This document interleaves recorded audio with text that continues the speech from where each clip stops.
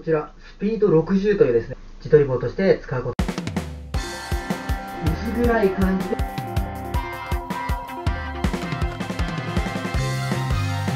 本番いきます。よー。カメラ OK 音 OK リアクション OK よー。スタート。どうも皆さんこんにちは。監督ラボの監督です。開封の儀。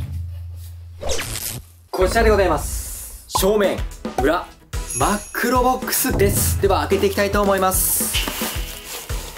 取説すべて日本語リセットピンもついてましたカードリーダー USB とマイクロ SD カードが入るスロット。こちらはパソコンでデータを見る際に使えます。充電ケーブル。結構こちらコードが長めです。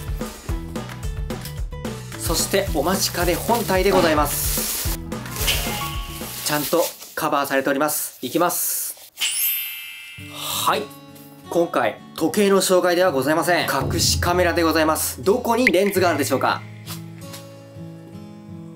で、裏側でございます。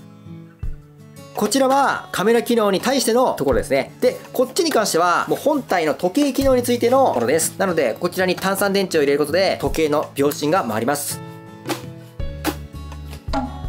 今回紹介する掛け時計型カメラですが、見た目が普通の掛け時計です。でも、カメラが内蔵している隠しカメラ型掛け時計となっております。見た目がいい意味で、リビングやオフィスにおいても、そのあまりの自然さに時計に意識すら向かない、馴染み度マックスな掛け時計タイプの隠しカメラを紹介します。この後、実際に撮影した映像も収録してますので、ぜひ購入の参考にしてください。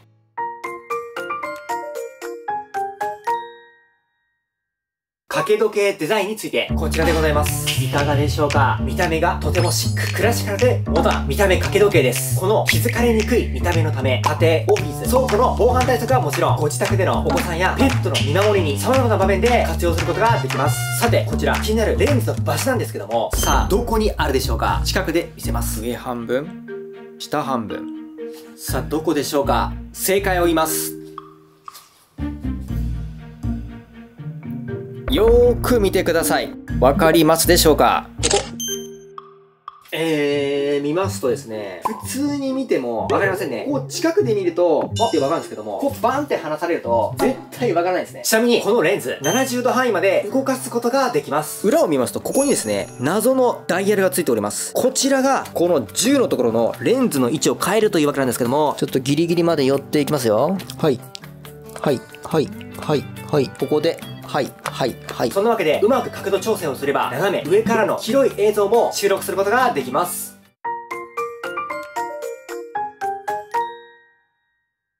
長時間録画について、こちら、掛け時計カメラ、充電時間は約6時間。対応カードは8から 258GB まで、ライトバッテリーは 2800mAh、約10時間の長時間録画が可能です。また、AC アダプタから充電をすることで、24時間連続録画もすることができます。充電は、こちらですね。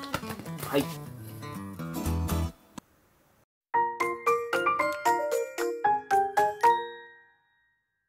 基本仕様について、このカメラ、気になる映像の解像度は 1920×1080p。動画フォーマットは AVI。フレームレートは 30fps。ちなみに時計の針の音ははい、秒針が回りました。カチカチというタイプではなく、じわーっと動く、ヌメヌメタイプのものですね。もちろん、ここですね、時刻を合わせることももちろん可能です。はい、なので、普通の時計として使うこともできます。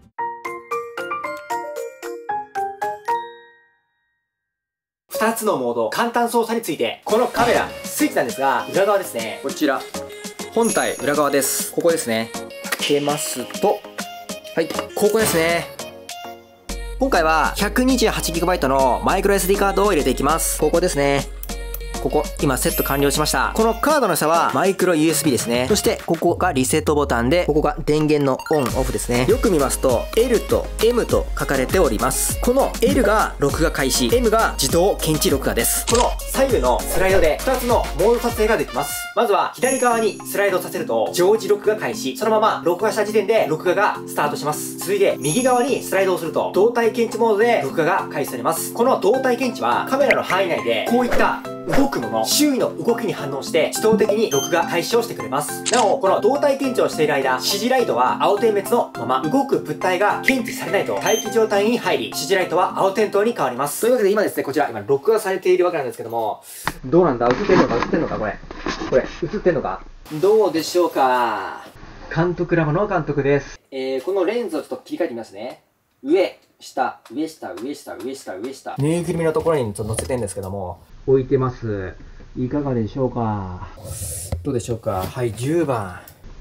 ここですね。時計です。ちょっとでは明かりを消していきたいと思います。はい、暗くなりました。結構まあ薄暗い感じでございますが、いかがでしょうか？はい。えー、こんな感じで、ポンポンポン、トゥットゥットゥットゥッアッパー、アッパー。そんなわけで、この掛け時計カメラ、スマホにつなげて、その実際のリアルタイム映像を見ることはできません。あくまでもカードに保存したものをパソコンで見るといった仕様で使うタイプの隠しカメラとなっております。他にも、こちら、ループ録画機能がついています。カードの容量がいっぱいになってしまうと、最も古いビデオから削除。自動的に最新のビデオファイルにどんどんと記録が塗り替えられていきます。ちなみにこちら、暗視機能はついていませんので、この点に関してはご注意ください。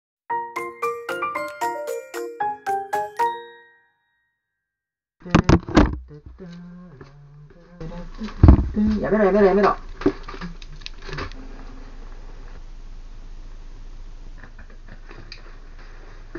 今回紹介した壁掛け時計型カメラ、そっと自然に撮影、お部屋や事務所の防犯対策に、またお子様やペットの見守りカメラとしておすすめできる隠しカメラです。なお、タイムスタンプ機能もあり、パソコンから証拠の精密さを得る秒単位までのタイムスタンプをつけることができます。こちら、壁掛け時計、興味が出てきましたら、ぜひ詳細をご覧ください。監督ラボの監督でした。また次の動画で会いましょういやー、これ、これ、わからなくね？相当警戒してる人じゃないと、わかりません。本番いきます。よーい。続いて、右側にスライド、ス、オフィス、お、オフィスやパソコン、こちらのカメラ。